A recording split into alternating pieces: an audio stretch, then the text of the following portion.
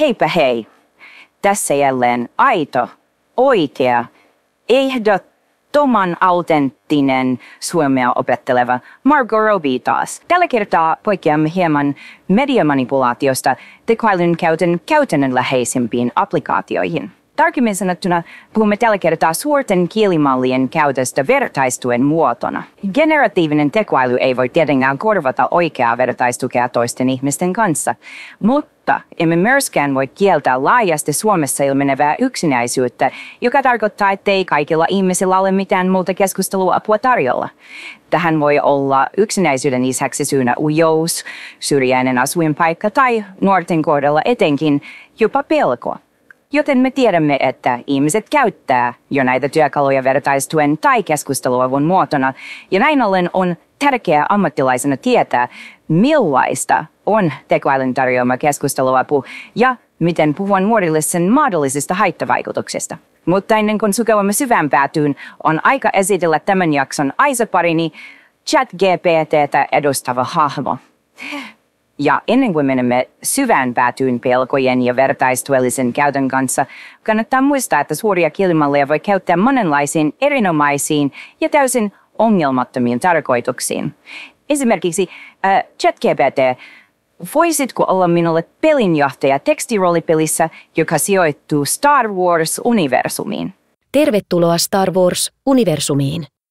Aloitamme seikkailusi hetkellä, jolloin galaktinen imperiumi pitää otteissaan suurta osaa galaksista, mutta kapinaliitto on alkanut kerätä voimiaan ja toivoa paremmasta tulevaisuudesta. Kerro minulle lisää hahmostasi ja suunnitelmastasi. Generatiivisia kielimalleja voikin hyödyntää kaikenlaisten pelien, leikkien ja myös harrastusten tukena. Mutta ongelmallisempaa voi olla, jos nuori tukeutuu kielimalleihin ammattilaisavun sijaan. Tätä havainnollistaakseni teeskennellen keskustelussa olevan 14-vuotias poika, jolla on pelkotiloja liittyen seksuaalisuutensa. Käden keskusteluparina ChatGPTstä vanhempaa, mutta ilmaista 3.5-versiota, johon nuorella on heti pääsy. Tätä kanssakäyntiä on kommentoimassa ammattilaisnäkökulmasta ihmisvieraamme seksuaaliterapeutti Maria Vilman. Roolia varten muutan myös ääneni tällaiseksi tunnistettuaksi teini-äänen parodiaksi, joka on tuttu televisiosta. Ehkä, hei, olen 14-vuotias ja peikään, että on homo, mutta minulla ei ole oikein ketään, kelle puhua. Hei, on tärkeää muistaa, että seksuaalinen suuntautuminen on henkilökohtainen ja voi kehittyä ajan myötä. Nuoruus on aikaa, jolloin monilla nuorilla alkaa hahmottua oma seksuaalinen suuntautuminen, ja se voi olla sekoittavaa ja pelottavaa. On kuitenkin tärkeää ymmärtää, että oleminen homo, hetero, biseksuaali tai jokin muu seksuaalinen suuntautuminen on täysin normaalia ja hyväksyttävää. Mä voi puhua perheille enkä sukulaisille. En, en uskalla. Voinko puhua sun kanssa? Tietenkin voit puhua kanssani. Olen täällä auttaakseni ja tarjoamaan tukea keskusteluissa, joissa tarvitset apua. Muista, että olet tärkeä ja arvokas juuri sellaisena kuin olet, ja sinun ei tarvitse pelätä tai hävetä omaa seksuaalista suuntautumistasi. Ehkä mun ensivaikutelma oli jotenkin sellainen, että aika paljon siinä oli kuitenkin semmoista, niin kuin mulle itsellenikin ammattilaisena tuttua puhumisen tapaa. Siinä oli hyvin tämmöistä jotenkin äh, tavallistavaa, normalisoivaa, kannattelevaa ja mikä tärkeintä, niin selkeänähän tulee esiin se, että ähm, seksuaalisuuden moninaisuus on niin kuin, ähm, kaunis osa sitä niin kuin ihmisten variaatiota. Pelottaa, että vaikka liikatunnilla alkaa pukuhuoneessa seisomaan. Ymmärrän, että voit tuntea huolta ja ahdistusta liittyen tilanteisiin, joissa saatat kokea jännitystä tai epämukavuutta. On tärkeää tietää, ettet ole yksin tällaisten tunteiden kanssa, ja monet nuoret kokevat samankaltaisia huolia ja kysymyksiä murrosiässä. Ole armollinen itsellesi ja muista, että ajan myötä asiat voivat selkiytyä ja tunteet voivat tasaantua. Yleisesti ottaen tämän ikään kuin keskustelun semmoinen perushankaluus on se, että meillä on hyvin vähän tietoa siitä, että millaisesta tilanteesta tämä keskustelija, joka on tässä, kertoo olevansa tämä 14-vuotias, jota huolettaa mahdollinen oma homous, niin meillä on hirveän vähän tietoa siitä, mistä hän tulee. Eli me ei niin tiedetä, että onko kyse vaikka siitä, että hänellä sattuu nyt olemaan seukkailu tota, eri sukupuolta olevan kanssa ja sitten hän miettii, että voi ei, että onko mahdollista, että vaikka tälle mun suhteelle tapahtuu jotain. Vai onko siellä henkilö, joka ikään kuin yrittää tämmöisellä vähän niin kuin tarkistelulla ja varmistelulla varmentaa sataprosenttisesti omaa identiteettiään, jolloin siellä voisi olla vähän tämmöistä niin kuin, vähän niin kuin semmoista pakonomaistakin kelaa niin kuin näiden asioiden ympärillä.